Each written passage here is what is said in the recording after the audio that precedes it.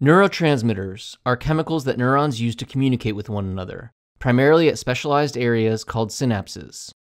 Most synapses consist of a neuron that is sending a signal, which is called the presynaptic neuron, and a neuron that is receiving the signal, or the postsynaptic neuron, as well as a small space between the two called the synaptic cleft.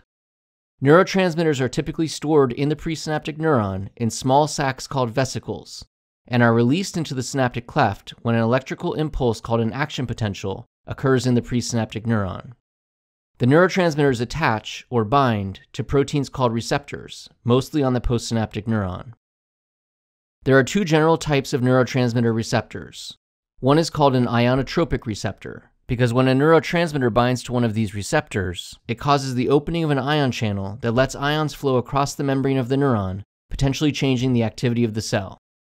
A general term for a molecule that binds to a receptor is a ligand, and because ionotropic receptors consist of an ion channel that opens in response to a ligand binding, they are also called ligand gated ion channels.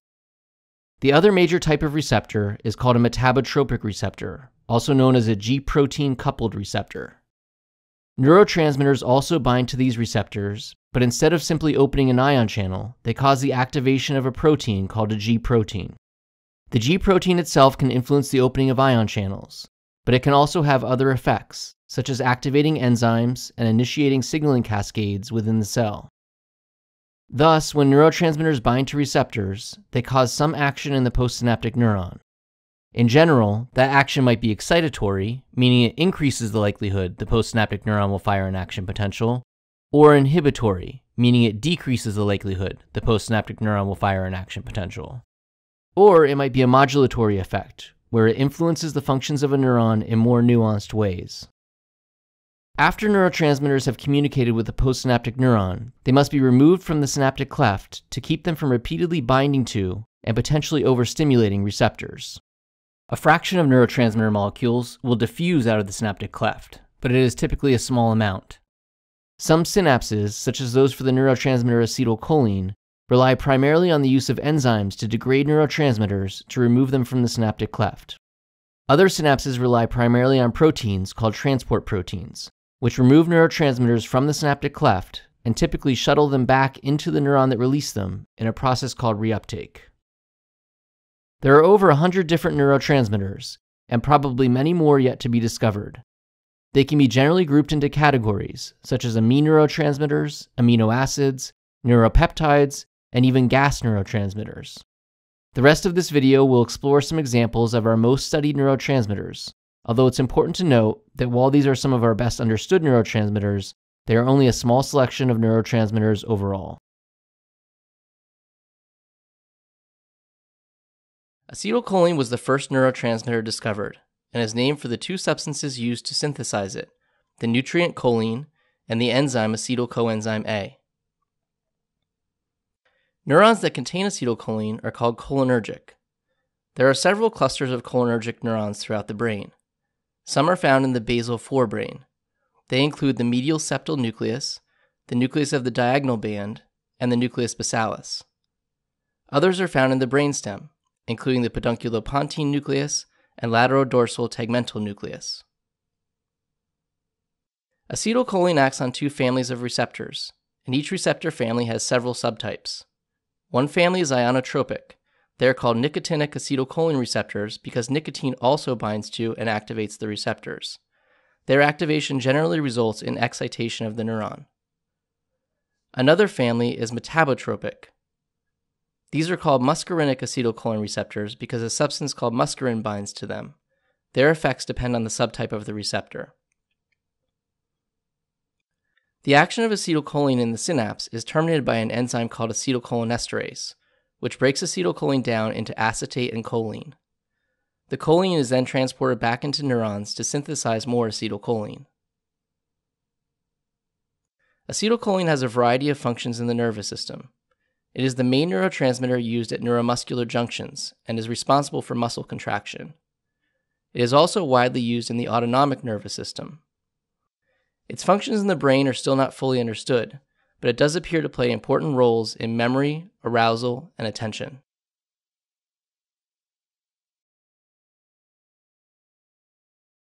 Dopamine is a monoamine neurotransmitter, a term that refers to its chemical structure and the fact that it is derived from an amino acid. Dopamine is also a catecholamine, a term that also refers to its chemical structure and the fact that it contains a catechol nucleus. To synthesize dopamine, the amino acid tyrosine is converted to L-DOPA. Then L-DOPA is decarboxylated to form dopamine. There are several areas of the brain where dopamine neurons are concentrated. The largest are the substantia nigra and the ventral tegmental area in the midbrain. Other areas include the hypothalamus, olfactory bulb, and retina. There are several major dopamine pathways that carry dopamine from these areas of concentration to other parts of the brain. Some of the largest are the mesostriatal or nigrostriatal pathway, which stretches from the substantia nigra to the striatum, the mesolimbic pathway, which stretches from the ventral tegmental area to the nucleus accumbens and other limbic structures, and the mesocortical pathway, which stretches from the ventral tegmental area throughout the cerebral cortex. Dopamine acts at G protein coupled receptors, and there are at least five subtypes of the dopamine receptor. Dopamine is removed from the synaptic cleft by a transporter protein called the dopamine transporter. Like any neurotransmitter, the functions of dopamine are complex and can't be fully explained with just a short summary. Dopamine is linked to movement due to disorders like Parkinson's disease that involve dopamine deficiencies. It is also often associated with the processing of rewarding experiences. However, dopamine also plays a role in many other functions.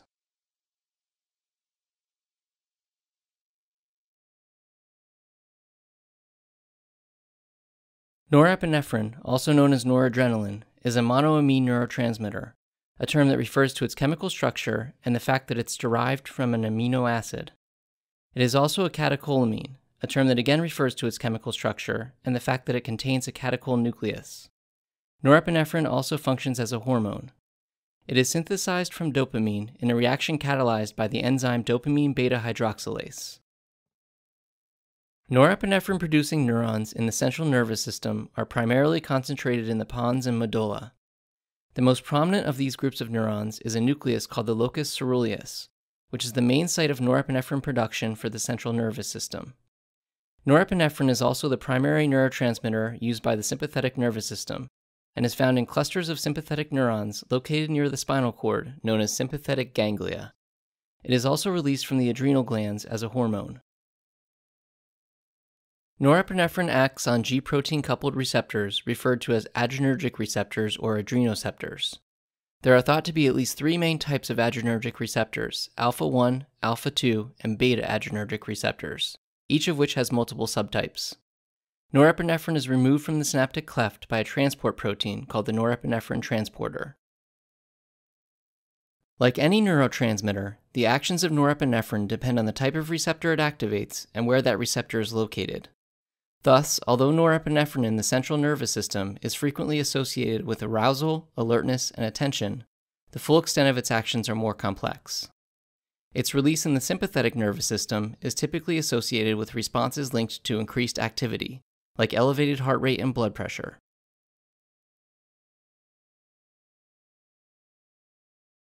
Serotonin is a monoamine neurotransmitter, a term that refers to its chemical structure and the fact that it is derived from an amino acid.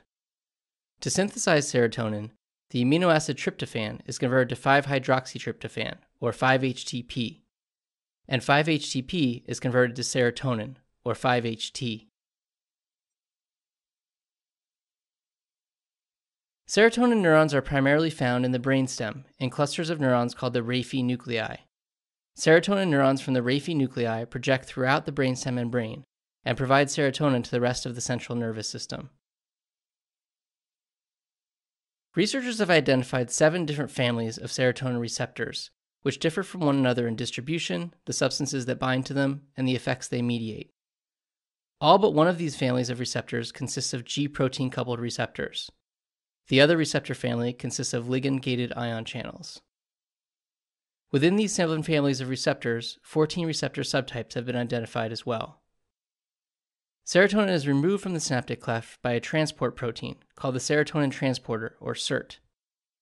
In terms of function, serotonin is often linked to mood in part due to the understanding that many antidepressants cause serotonin levels to rise. However, an attempt to define any neurotransmitter by one function is inevitably an oversimplification.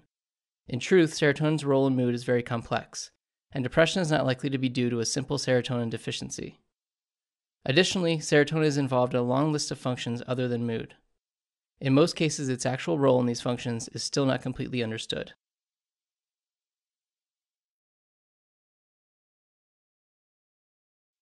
Glutamate is an amino acid that also functions as a neurotransmitter. Although glutamate is obtained through the diet, it cannot pass the blood brain barrier and thus must be synthesized in the brain.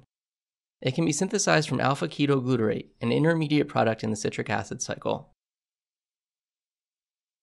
Glutamate generally has excitatory actions, meaning that when it interacts with the receptors of a neuron, it makes that neuron more likely to fire an action potential. It is, in fact, used at the vast majority of excitatory connections in the brain, and at more than half of all synapses in the brain. Glutamate interacts with several different types of receptors. There are three identified ionotropic glutamate receptors, named for substances that activate them NMDA, AMPA, and kainate receptors. When activated, all three allow positively charged sodium ions to flow into a postsynaptic neuron, depolarizing the neuron and making it more likely to fire an action potential. NMDA receptors have unique characteristics that make them well suited to be involved in synaptic plasticity, or synaptic changes that occur in response to experience, which are an important component of learning and memory. There are also three identified types of metabotropic glutamate receptors. These receptors have more varied effects than ionotropic glutamate receptors and may be involved with excitatory or inhibitory actions. Glutamate is removed from the synaptic cleft by a class of transporter proteins called the excitatory amino acid transporters, or EAATs. EAATs carry glutamate into neurons and glial cells. Glutamate taken into glial cells is converted to the amino acid glutamine by the enzyme glutamine synthetase. Glutamine is then transported back into neurons where it is converted back to glutamate. This process is referred to as the glutamate glutamine cycle.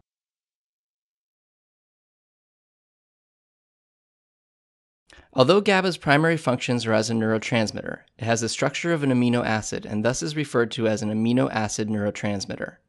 It is synthesized from another amino acid neurotransmitter, glutamate, in a reaction catalyzed by the enzyme glutamic acid decarboxylase. The function of GABA changes over the course of neural development, but in the mature brain it acts primarily as an inhibitory neurotransmitter.